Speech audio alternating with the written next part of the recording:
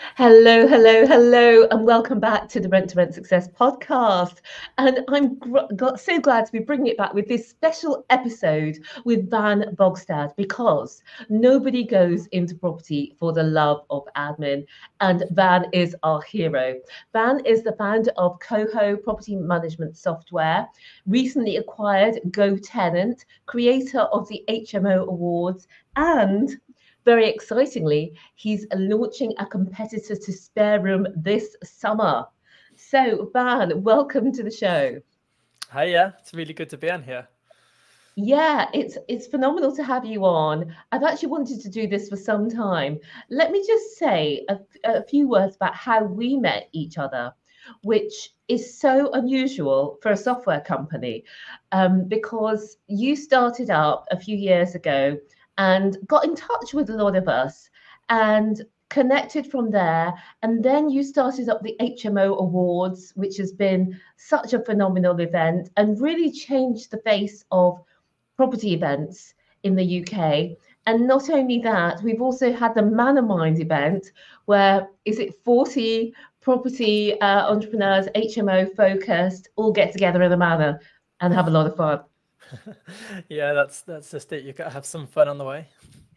Yeah, and so what I think is really important about what you're doing is not only the technology of it, but the community of it. And you've built a really strong uh, community there, Vann.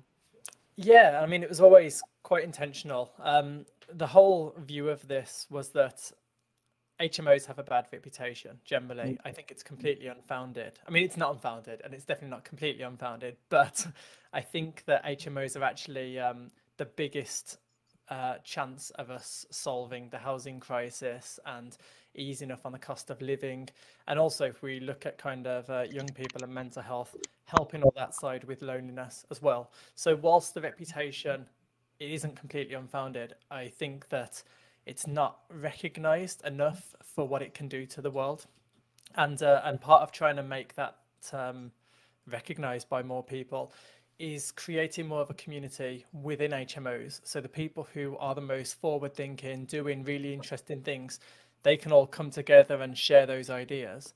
And also, me as someone who knows kind of comparatively nothing compared to people like you and Nicky and and all the other people, um, especially those who go to the Manor Mind. Uh, I can just sort of sit there in the same room and learn, which normally I probably wouldn't be invited to if I hadn't hired the mansion myself. yeah, well, that is key. What you've just said there, Vann. You want to sit in a room with other HMO property investors and learn. And what you've done over these years is you've learned so much and you've brought that into Coho. And Nicky and I uh, and HMO Heaven is transferring as we speak over to Coho. And I did not think we would ever do this because we have been with Arthur for many years. Um, but I think it's fair to say, and without being unfair to anybody, Arthur has not moved with the times, uh, listened to customers, and I think that they will admit they're not there for you know smaller investors. They're that's not where they want to put their focus. And so to be able to come over to Coho and find it so user friendly that you actually know all the things and you've got everything there. Because one of the things that's very terrifying or terrifying for a beginner um, HMO self manager or, or letting agent beginner is systemizing and having that systemized process. So I'd love us if you could talk to us about how Coho can help with, you know, creating that systemization. Yeah, um, yeah. I think uh, when you read these business books, you kind of um, often hear that kind of term like, "What's your business's superpower?" And I think for us, it's always been that uh, we're really, really good at building products. Um, we are kind of me as one of the founders. I'm a developer. My co-founder is a developer. Another one of my co-founders is a developer. Um, our head of product ran a huge uh, co-living company, also a developer. So it's kind of like in the team, we just have the ability to try to understand what the problems are and then build it. And like when you run a tech company, like in Arthur's defense, product development is so expensive and so difficult and so time consuming unless pretty much everyone in the company who has like a high level um, a high role in the company has the ability to build it in which case it's it's actually really fun because we get to speak to people like you and and off the back of a conversation we come up with some amazing features so um yeah like our approach to it has always been I mean, a lot of people know this. I'm not from the property industry. I was a tenant in an HMO who had a really, really good experience. And what I wanted to recreate was basically off the back of conversations I had with my landlord, the processes he put in place, the process that I was kind of subjected to in quite a good way. Uh, I wanted to kind of create those to be available for everybody.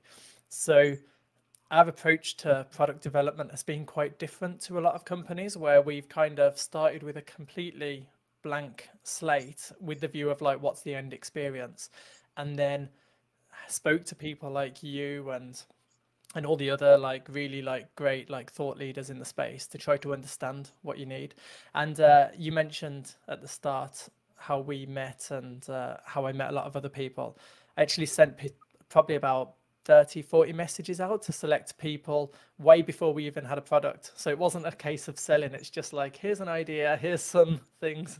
So off the back of that, um, we've just been problem solving and problem solving and problem solving. It's kind of like people would say something like, um, like the onboarding of a new tenancy is is clunky or uh, we'd look at someone's process and it's like emails back and forth and it's kind of like uh, right, can you go over and fill in this Google Google form about some information? Then this referencing company is going to get in touch with you, and then you have to go over to DocuSign and sign something, and then I'm going to email you all of this, and all of this is happening across between emails, phone, and WhatsApp.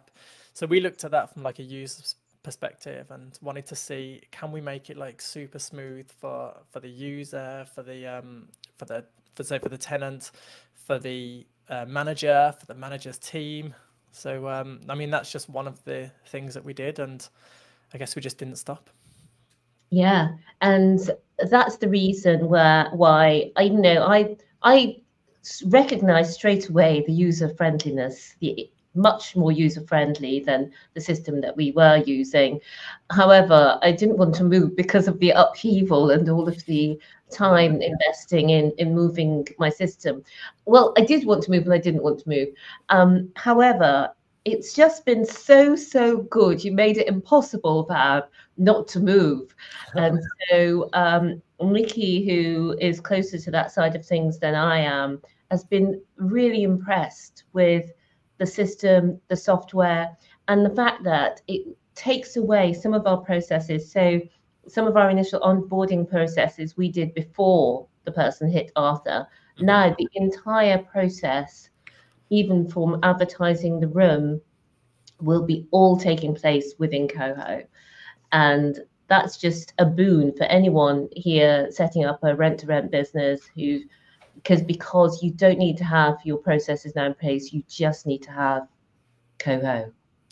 Yeah, I mean um yeah, it's it's it's an interesting one. Like it's one of the biggest challenges we have is trying to get people to move to the software, just because for the most part, moving from one thing to another is usually kind of only slightly different, maybe some slight improvements, and uh, and then it's there's almost kind of better the devil you know at times.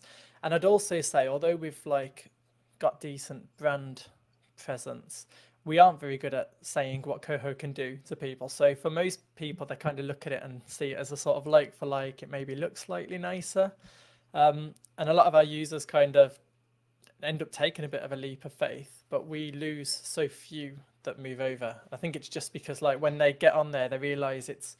In fact, one thing that stood out to me in a conversation I had with um, a Meta exec is he said the challenge we'll have with marketing is that we haven't built a slight iteration upon what people know. We've built kind of a whole evolution of what should happen. So it's kind of getting people to understand like this is a whole new, really cool set of processes that you can introduce to systemize in one smooth go instead of like, okay, here's what you did on this software and here's the equivalent here, and here's what you did and here's the equivalent. So yeah, we've um that's that's always going to be a challenge we'll have with marketing. But but like last month we we did three times more new business than we did in our greatest ever month, which was the month before. So I think people are starting to sort of realize now. People are starting to realize, and people like me, you took a long time to to get there, but it's it's head and shoulders above. And what people don't realize, perhaps, is it's exactly as I say. Instead of you having to codify and systemize and write down all your processes, you just get Coho. Coho is the process. You can now have, you know, a VA in the Philippines help you with your um, HMO administration and really make it that sort of seamless, more hands-free business in terms of the online administration with Coho. Yeah, and um, and the the secret bit behind everything we're doing, which you kind of alluded to at the start, is uh, where my my passion really is is uh, is making HMOs like the the sort of default choice for people in their let's say early 20s mid 20s or divorcees mm. and uh, and not a lot of people know this but actually the reason we've built the software is because we want to create competition in the marketplace mm-hmm. for listings like at the moment you have one place where you can go to find a professional let, where you mm-hmm. can go to find tenants. And we just always saw it as um, that's just not good for anybody apart from the, the market leader in the space. But even then, I mean, innovation, like you need competition for innovation. Yeah. yeah. So uh, my view to things was when I was a tenant, I had like the best experience. It was such a great time. And actually, I found the place on Gumtree weirdly, if that even exists now. Um, but I found the place on Gumtree and it was sort of listed as a, from the tenant's perspective and talked all about who lives in the property.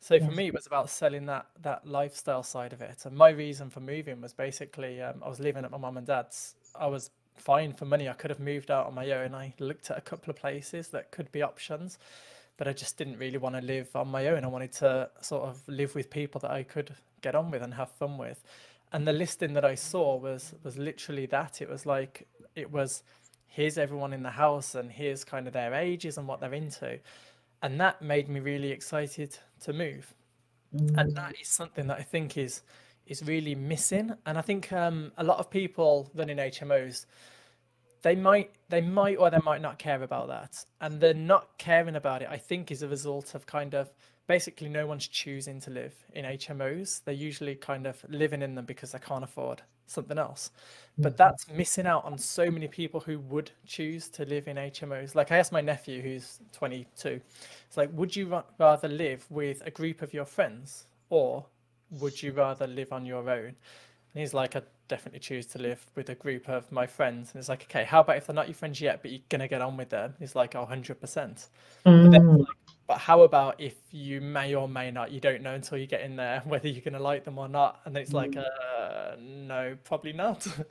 so what we've always wanted to create was was that same experience that I had, where before someone moves in, they can hopefully be sold on the lifestyle and to mm. cut a really long story short, the way we find out enough about the property and the tenants is by building a really good property management system to make it really easy to manage your properties and ask the tenants if they want to offer up some information about themselves. And as a result, we can then create what will be a really modern marketplace to find tenants that yeah. shows actually who's in the property, which I think is really exciting.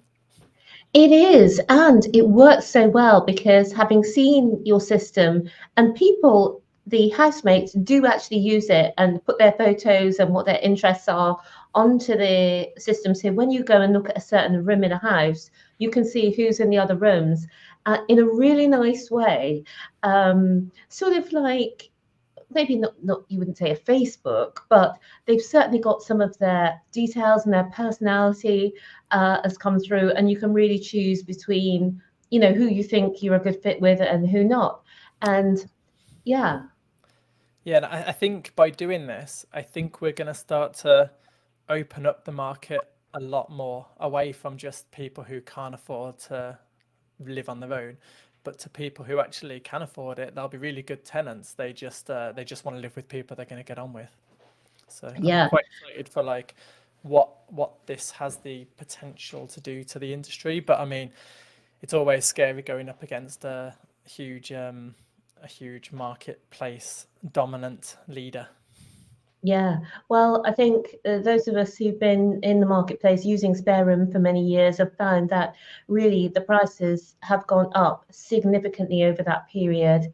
And as you say, yeah, they are the only ones in the market. So I'm definitely uh, here, and I'm sure many listeners are here to support you as you do this, because I think it is important that we do see uh, competition, you know, in this marketplace, because I, I think that makes it better for for all of us, for us as you know buyers of the service, and also for the housemates who are looking for properties as well.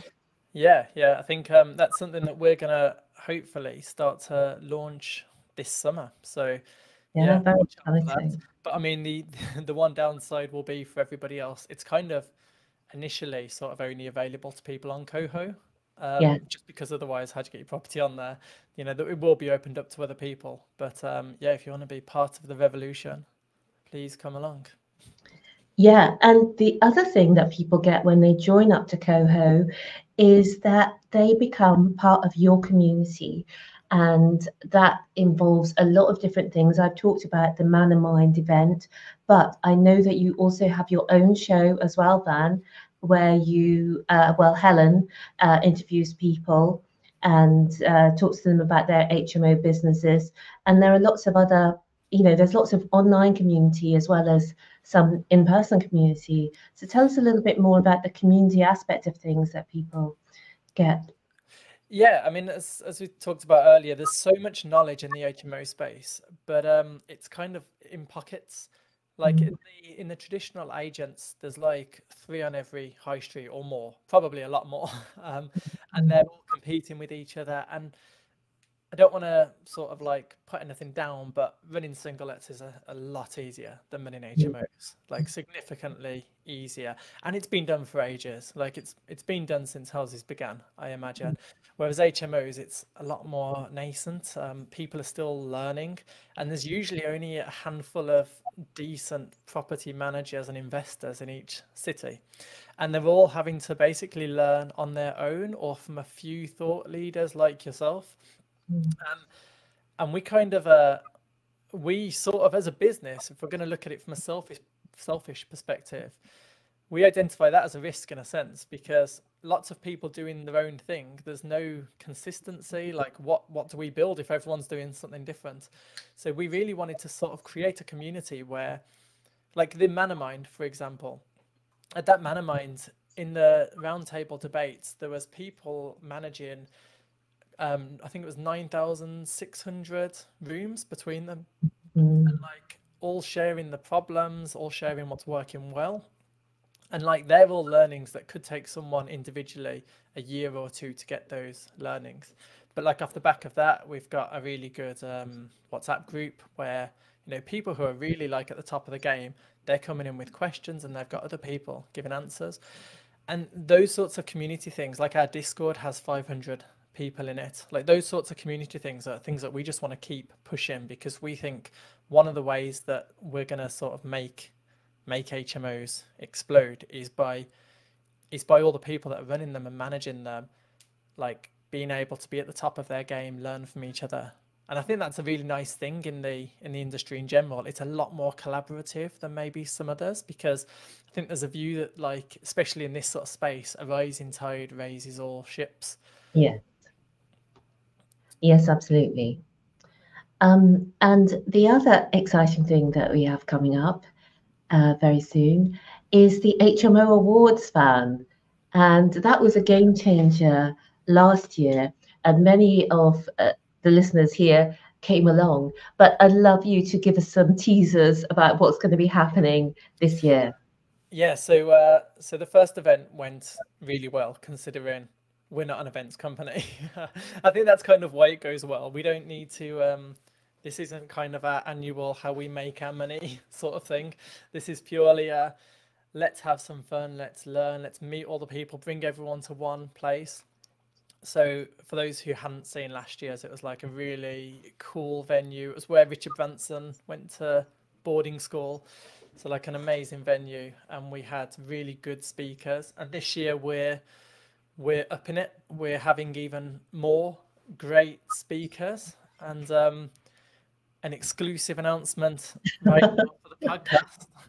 Um, Stephanie has agreed to give a talk at the awards, so I'm really excited about that, and I'm sure that's going to be a completely packed room. Yeah, and what I love about your your talks, Vann, um, because let's face it, listening to long list of speakers, it can get dull. But you've got the TEDx style of speakers where it's within a 20 minute period with a few key takeaways. And last year, I learned so much, but it also was really an exciting pace where people were dashing back and forth. Which which speakers am I going for? And it was so engaging and not at all like some of the dull events that we've all been to before.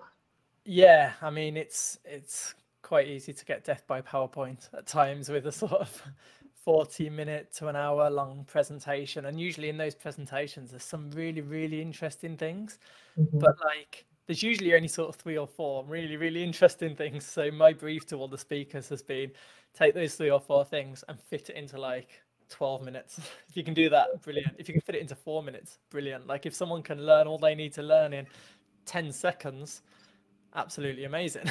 But um but i think that kind of 15 minute 20 minute sort of presentation is it's a nice it's a nice amount of time to be able to say who you are and deliver like hard hitting knowledge to people who can go away and and improve the business. But one of the things i really liked last year was uh um, after the event about a month or two after somebody approached me and said that um, they they'd heard this kind of co-living sort of side of things, which uh, a little side avenue. Um, I'm a fan of co-living, but I think it's misunderstood. Like I don't think it's having to do two hundred thousand pound refurbs. I think it's just kind of having an intentional view that there are people living together and like you know the service you offer will keep people there, keep them happier, keep them paying on time. Anyway, um, and that's really like what the talks were sort of delivering at the awards. And uh, yeah, he said that uh, off the back of that, he realized like just how big an opportunity there is by instead of kind of having a bit of a race to the bottom, lowering rents, lowering the amount you're spending on um, modernizing the property. Instead, if you start to improve on service, actually the rents can get higher and the you know the profitability of these properties can go higher. And this person approached a number of their landlords and got buy-in from a few of them to really like reverse their trend as well. No that is that, that is the um what i love about the community. Uh, the insights, the little insights that make a huge difference. But also, it's great fun. Um, people really did let their hair down last year, and it was it was great fun. There was um, a food truck that was a, a novel kind of approach to things with really yeah. tasty food. I think uh, we we as as a company just generally I say like to do things differently. I think it's more that we we generally don't start from the position of what do people do, how do we improve on it. It's more like uh, I I'm personally not a massive fan of award events because I feel like I look like a bell end in a tuxedo, and uh, I don't feel comfortable the whole time. And the food can be really nice, uh, or it can be fine. Whereas um, what I like is that festival vibe. So we put we uh, we got live music, food trucks, and the live music, like stuff like that's cool because often with these things you go to a website and you search corporate band things. But our approach instead was to go to Instagram and look for people who were just like good musicians who were actually quite eager to play somewhere. So mm. that, that was really that was a nice difference for me. So let's give all the info because we've said it's a Richard Branson school, which is Stowe House, which people may not know. So give people the rundown about the info and the date and um, anything else that they'll need to know to yeah. be able to go and grab their tickets. So the event's on the um, on the thirty first of May. Um, it's an all day event. So I think it starts at like twelve o'clock with the talks. Um, don't get put off by the awards section of it. It takes like 40 minutes to an hour of the event, but to be honest, it's quite a nice, it's a really nice theatre that it's done in. Mm. Um, so yeah, it's it's a full day event. There should be 14 talks across two different stages. Really good networking. Like last year, last event, it was like all the leading people in HMOs were there in the in the room. Um, it's in Stowe in Buckinghamshire, so it's kind of like central to everybody. Essentially, is what we're trying to go for. And uh, yeah, the tickets are available now. And I think uh, in terms of ticket pricing, like it's 14 talks, awards, networking, live music, street food, which is all included, um, a bar, and the tickets are, I think, 250. So hopefully that's considered reasonable value. It's exceptional value. And we stayed at a local hotel, and your boss picked us up last year. Um, I'm guessing something similar will be happening yeah, this yeah. year. We put buses on to make sure everyone can get there easily enough as well. Yeah. No, so I'm really looking forward to that, Vann. And I just want to thank you and your team for your dedication in really, really going for it with this HMO software management. You've not just gone in as a normal HMO software company, um, distant, you know, minding your own business. You've really gone out into the HMO community and found out what we need, and you are delivering it. I've you know, HMO landlords are not known for getting excited about things, are they? Yeah, I mean, I don't like to say this because I, when I get imposter syndrome, but I'm genuinely, genuinely trying to build a sort of like a billion pound company in the UK, which there haven't been many so far. But uh, I think uh, I think there's really is scope for for the same thing to happen to shared living that happened to serviced accommodation. Like Airbnb mm. came along and changed boring holiday lets that you find in a newspaper that like some people do, but most people just stay in hotels. They changed that to make it so we're actually like staying in in a serviced accommodation, staying in a spare room or something like that, like that that became the normal way for people to do things and it just took that catalyst. There's loads of passionate people in the industry building the product but it just took a catalyst to make it possible and to make it kind of accessible to to all of the people. That's what we're trying to do essentially. So like we're not going to do that by just building some software and sitting and hoping. Like we really have to go all out. We have to try and address the reputational issues, try and bring everyone together, literally do anything we can to support the growth of the industry. Great. So, thank you so much for coming on and joining us. And I know if you're listening and watching and you're interested in HMOs, if you're already managing HMOs, if you own HMOs, if you're starting a rent to rent, this is definitely the event for you. Uh, so, go, go along to hmoawards.com. Of course, Nicky and I and members of our community will be there as well as the who's who of the HMO world. And as well, if you if you come to the event, that's one thing. But also do check out Coho, see what all the fuss is about, see what's been getting um, landlords and investors excited about this software. Not something we're usually excited about. But what I'm very excited about is the the the idea that now you no longer need to codify your systems yourself. Everything is done for you in Coho. You buy that software and you've got your processes because it takes you through the onboarding process and everything you need to do to onboard your tenant and so on. So it really is a game changer. You've come on leaps and bounds even since you were already ahead at the beginning. And in the short time, you've come on leaps and bounds and taken on a, a huge amount of investment as well, Vann. Yeah, we we we have. Um, though I'm not someone who loves taking on loads of investments, so uh, my view is if we can do it without, that's even better. But I mean, the really nice thing for us has been um, a majority of that investment has come from our users, which has been a really nice kind of. Uh, I don't know, it's kind of a, a bit of affirmation on what we're doing because I don't like to go out and ask people either. So the fact people have actually asked us has been really nice. But I guess that's just like, you know, at the moment, what Coho can do is replace communications on WhatsApp, give oh, you a yeah. place for all of your maintenance to be done, the onboarding. Like the compliance is a really big issue just because, especially in HMOs, like the government are just fining fining, fining, fining because there's so many people who are doing it badly, almost intentionally, and the good people are just getting caught up in that. So that you know the compliance is really good. Some of the nice little features like just tracking tenant opinion because a tenant won't tell you the house is completely messy until they're close to wanting to leave. But like we sort of prod them to find out those things on a monthly basis and then deliver that to you as information that you can act on as a kind of stitch in time. It's just loads of those little things that we've built to try to basically just to try to make it as profitable and time saving for you as possible. And it it humanizes it as well because if you've not you know you might want to do a questionnaire or a survey and it might be one of those things that gets pushed off. Um, but if it's happening automatically within your software then for me as the housemate now seeing oh they're asking how am i getting on? What's the property like? Have i got anything that wants to be improved? And that's happening without me as the um, property manager needing to do anything. That's that's just so valuable. And that's one of many things that you know really impressed uh, Nicky. And you, you've just got the the Xero integration coming on as well.